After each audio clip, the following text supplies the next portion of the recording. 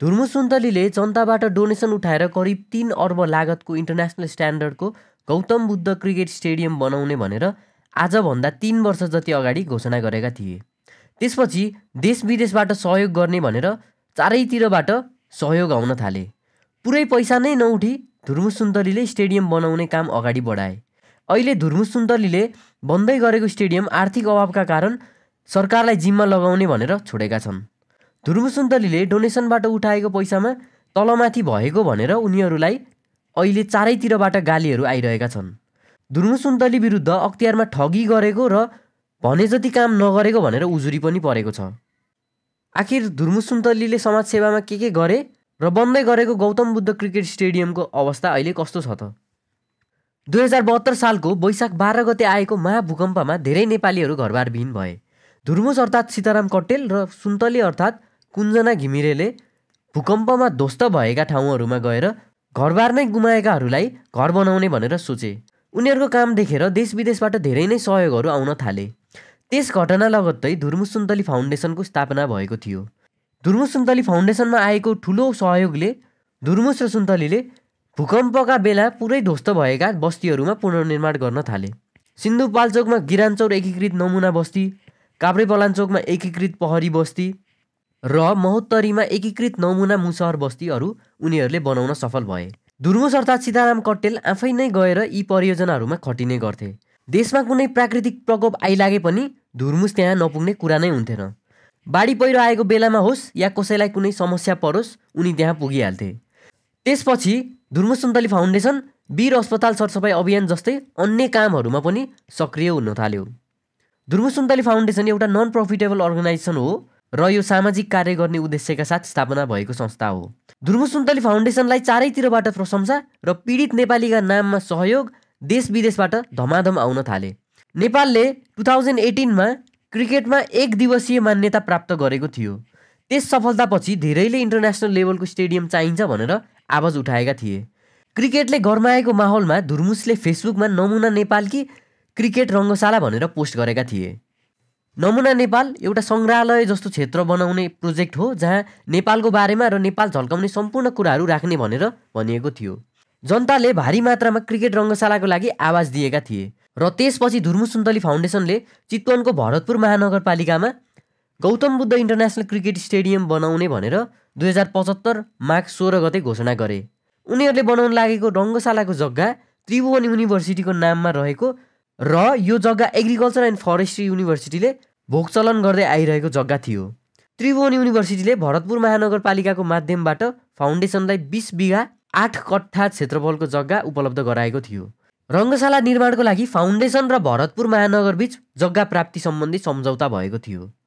यस cricket रङ्गशाला कमलको फुल आकारको हुने भनेर डिजाइन भयो र रङ्गशालाभित्र cricket ground football volleyball basketball badminton swimming pool र फिटनेस सेन्टरसम्म रहने भनेर प्लान गरिएको थियो। रङ्गशालामा पच्चिस हजार दर्शक अट्ने भनेर भनिएको छ। गौतम बुद्ध इन्टरनेसनल स्टेडियम बन्ने भन्ने कुराले जनता साह्रै नै उत्साहित देखिन्थे। जसले जे जे सहयोग गर्न सक्छ त्यसले त्यही त्यही सहयोग गर्ने भनेर सारा जनता तातिन थाले। तर जब सुरु गरियो भरतपुरकै एकजनाले त्यस स्टेडियम बन्न लागेको ठाउँमा डोजर चलाएर टिनले लगाएको बार भत्काइदिएका थिए। धुर्मु सुन्तलीले त्यसबेला चित्त दुखाएका थिए र बिस्तारै निर्माणको काम अगाडि बढ्दै थियो। रङ्गशाला बनाउन तिन अर्ब रुपियाँ जति लाग्न सक्ने अनुमान गरिएको थियो र त्यो जति रकम उठाउन थुप्रै कार्यक्रमहरू गरियो। धेरैजसो कलाकारहरू पनि यसमा आबद्ध भए। सेलिब्रिटीहरू बिच म्याच आयोजना पनि गरिएको थियो र क्रिकेट म्याच मातृभूमि कप पनि आयोजना गरिएको थियो। सन्दीप लामिछानेले अमेरिका र ओमनसँग हुने म्याचमा आफूले लिने हरेक विकेट बापत आठ हजार आठ सय अडचालिस रुपियाँ दिने भनेर भनेका थिए। यस्ता अनेकौँ सहयोगहरू आउन थाले। ध्रुव सुन्दरीले दुई करोड पचासी लाखमा सेन्टी भाइरस नामको फिल्म बनाएका थिए। जुन फिल्मको टोटल प्रफिटको पचास पर्सेन्ट जति धुर्मु सुन्तली फाउन्डेसनमा जाने भनेर घोषणा गरिएको थियो। फिल्म सेन्टी भाइरसले भने नराम्रो रिभ्युज पाए पनि धेरैजसोले भने रङ्गशालाको लागि भनेर हेर्न गएको भन्ने कमेन्ट्सहरू आएका थिए। त्यसपछि स्टेडियमको कुर्सी पछाडि यदि एक लाख कसैले डोनेसन गरेमा उनीहरूको नाम लेखिने भनेर भनिएको थियो।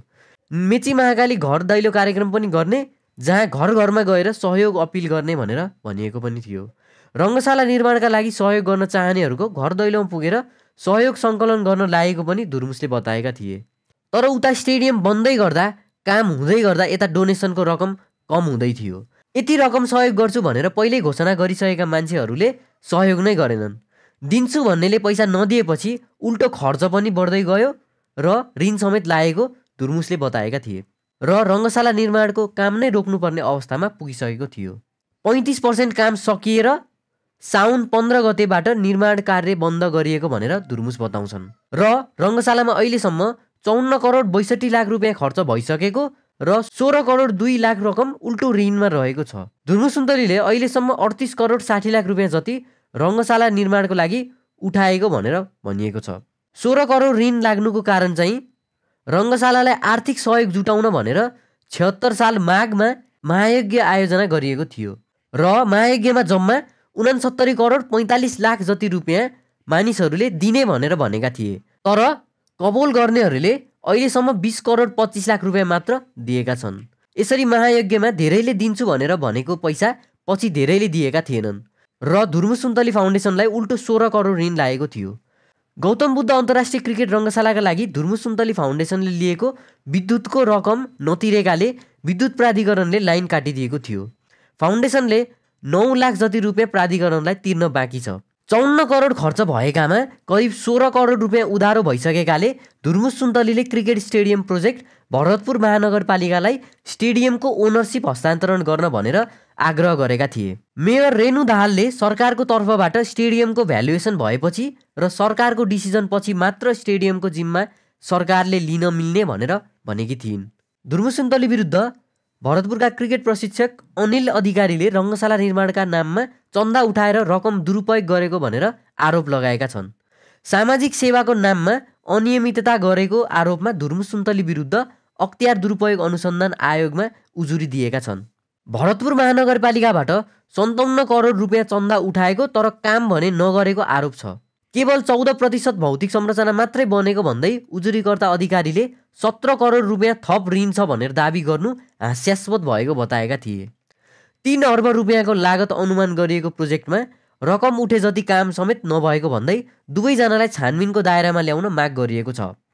अहिले उनीहरूले परियोजनालाई अलपत्र पारेर हिँडेको भन्दै छानबिन समेत गर्न माग गरिएको छ। सामान्यतया सामाजिक सङ्घ संस्थाको आर्थिक कारोबार अख्तियारको क्षेत्राधिकारमा पर्दैन तर सार्वजनिक संरचनाको निर्माण अनि त्यसमा भरतपुर महानगरपालिकाको बजेट समेत विनियोजन भएकाले अख्तियारले यो विषय छानबिन गर्न पाउँछ। धुर्मुसुन्तलीको सम्पत्ति शुद्धिकरणको लागि उजुरी पनि परेको थियो। धुर्मुसुन्तलीले आफू विरुद्ध उजुरी परेपछि फाउन्डेसनको तर्फबाट प्रष्टीकरण जारी गर्दै उनीहरूले रङ्गशाला निर्माणको सुरुवातदेखि पुस दुई हजार अठहत्तरसम्मको लेखा परीक्षण भइरहेको र केही दिनमै परियोजनाको वास्तविक आम्दानी खर्च सार्वजनिक गर्ने बताएका छन्। यस प्रोजेक्ट स्टार्ट गर्ने बेलामा उनीहरूले धेरै नै ताली पाएका थिए। तर अहिले भने जनताबाट पैसा उठाएर गर्ने सेवा सामाजिक सेवा नभएको भनेर धेरै नै गाली खेपिरहेका छन्। अब धुर्मु सुन्तलीलाई लागेको यो आरोप पहिलो भने होइन। यस्ता कयौँ आरोप उनीहरूमाथि लागिसकेका थिए। धुर्मु सुन्तली फाउन्डेसन विरुद्ध उठाइएका यी आर्थिक अनियमितताका प्रश्नहरू अब समय आएसँगै थाहा हुँदै जान्छ र रङ्गशालाको ओनरसिप पनि यदि सरकारले लिदियो र निर्माण कार्य निरन्तरता दियो भने अहिलेसम्म खर्च गरिएको पैसाको पनि सदुपयोग हुने थियो। भिडियो अन्तिमसम्म हेरिदिनु भएकोमा धन्यवाद। यदि तपाईँलाई यो च्यानलको कन्टेन्ट मन पऱ्यो भने सब्सक्राइब गर्नु नबिर्सिनु होला धन्यवाद।